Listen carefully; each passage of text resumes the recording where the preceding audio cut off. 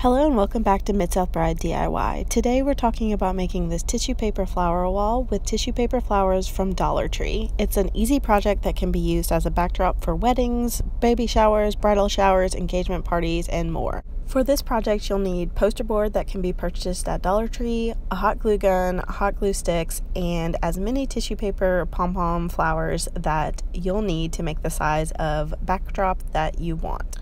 These tissue paper pom-poms come in a package of two from the Dollar Tree. They are meant to be hanging, so they're normally rounded, but for this purpose, we're going to pull all the tissue paper toward one direction and have a flat back so that they can attach to the poster board to make a flower backdrop with the tissue paper.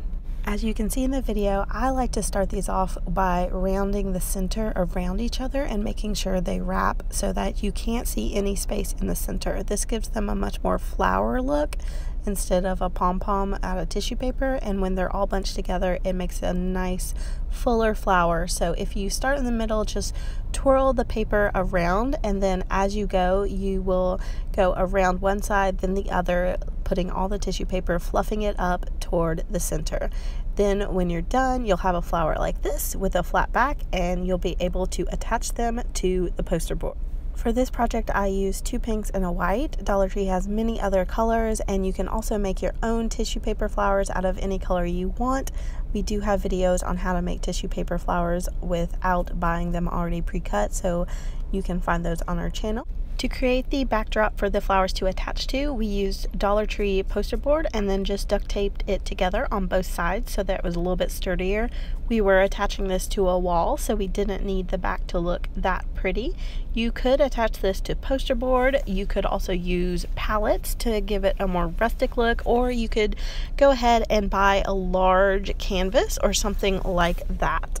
Once you have your surface to attach the flowers to, you'll go about gluing them down. This process is super easy, but like fluffing the flowers, it does take a little while. You'll want to have glue, hot glue on each flower. Either do it on the poster board or the flower. I tried both ways and they both were effective. So there's really a lot of wiggle room in this project, which is what makes it so easy and so great to do. If you're using the poster board from Dollar Tree, you'll have about three tissue paper flowers for each row and then about four down. So you'll want six packs of the tissue paper pom-poms to make your flowers per board. Keep that in mind if you are using these exact supplies. It's pretty easy and overall if you're doing six per board, that's only $6 and seven for the board. So you end up getting a really, really large and very pretty project for a very cheap price.